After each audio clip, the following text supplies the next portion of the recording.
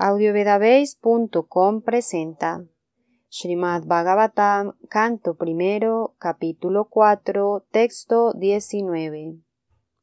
Shatur Hotram Karma Shudam Prayanam Bhikshavi Vaidikam Vyadada Jaya Santatyai Vedanikam Shatur Vidam Traducción y significado por su divina gracia hace Bhaktivedanta Swami Prabhupada.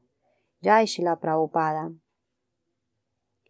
Él vio que los sacrificios que se mencionan en los Vedas eran medios por los cuales se podían purificar las ocupaciones de la gente, y para simplificar el proceso dividió en cuatro partes el único Veda que existía, con objeto de difundirlas entre los hombres. Significado.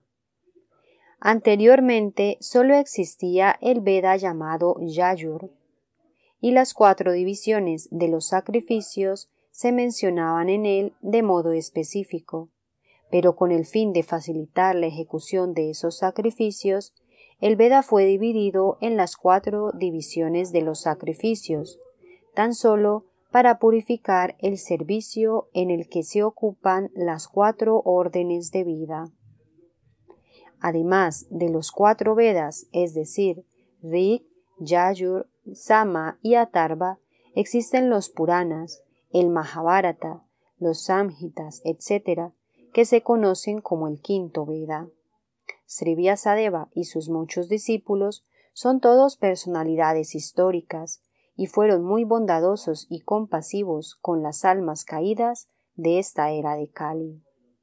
En consecuencia, elaboraron los Puranas y el Mahabharata a partir de hechos históricos relacionados entre sí, que explicaban la enseñanza de los cuatro Vedas.